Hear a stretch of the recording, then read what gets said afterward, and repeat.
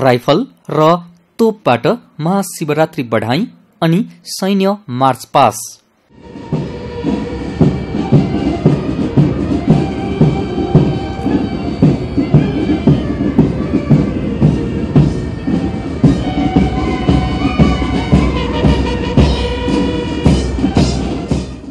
सवारी साधनबाट विशेष फौजको प्रदर्शन।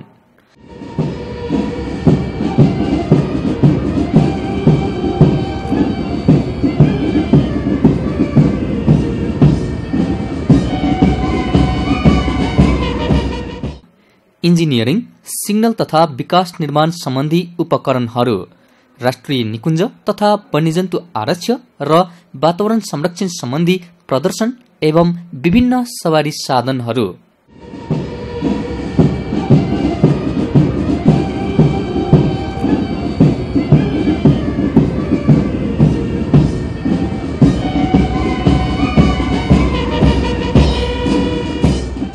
फ्रिफल जम्प मास खुकुरी ड्रिल सैनिक ब्यान्डद्वारा साङ्गीतिक कार्यक्रमको यो रमाइलो दृश्य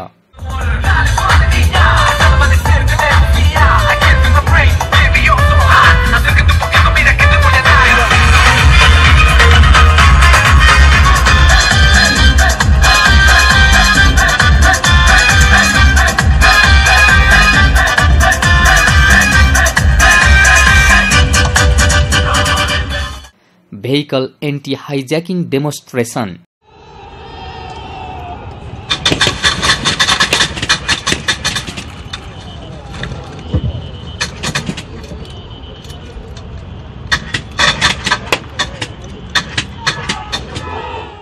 अनि हवाई फर्मेसन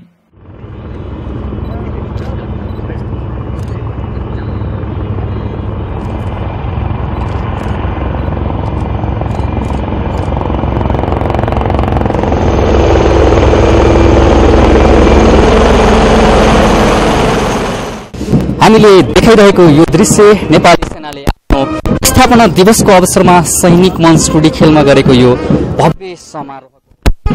घोडे जात्राको दिन आफ्नो स्थापना दिवस मनाउँदै आएको नेपाली सेनाले विक्रमसम्म दुई हजार सडचालिस साल यता महाशिवरात्रि पर्व अर्थात् आजकै दिन आफ्नो स्थापना दिवस मनाउँदै आएको छ।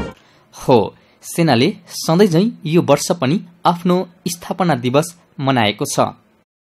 कार्यक्रममा नेपाली सेनाका परमाधिपति समेत रहेका राष्ट्रपति डाक्टर रामवरण यादव प्रधानमन्त्री सुशील कोइराला सभामुख मन्त्रीहरू लगायत नेपाल सरकारका उच्च पदस्थ अधिकारी सुरक्षा निकायका प्रमुख नेपाल स्थित कूटनीतिक नियोगका प्रमुख एवं प्रतिनिधिको उपस्थिति थियो।